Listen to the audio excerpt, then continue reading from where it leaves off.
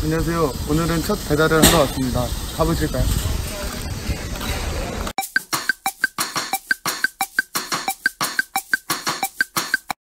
안녕하세요. TV 하월시아입니다. 제가 요번에 사업자 등록도 해서 본격적으로 하월시아를 분양할까 합니다.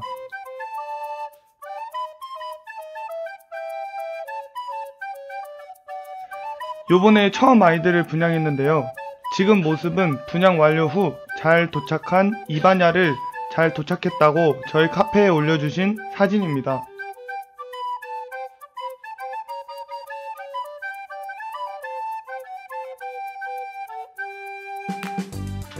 다음에 TV 하와이시아 검색하시면 보시는 거와 같이 카페가 나옵니다.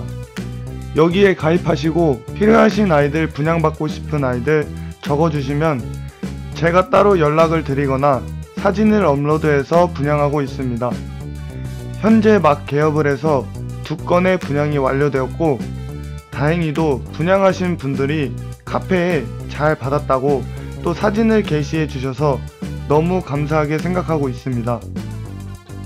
또한 저희 분양하는 아이들은 중국에서 들여온 조직 배양된 아이들이 아니고 지땡, 다땡, V2땡님, 햅시땡님 이름 들으시면 다들 아시는 분들께 직접 분양받은 아이들이고요.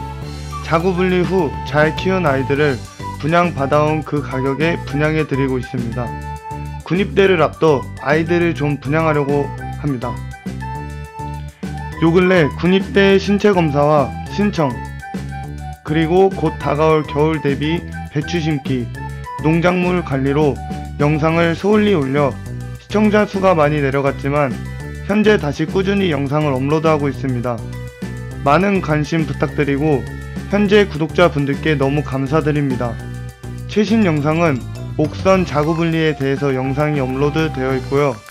내일 만상 자구 분리에 대한 영상을 업로드 하려고 합니다. 많은 관심 부탁드립니다. 요 토끼 두 마리는 요번에 아이들을 분양하고 산 아이들인데 제 목표는 청주 으뜸 가는 동물농장 주인이 되는 게 꿈입니다. 원래 제 목표는 군대 제대하기 전까지 소랑 돼지까지 키우는 게 목표입니다.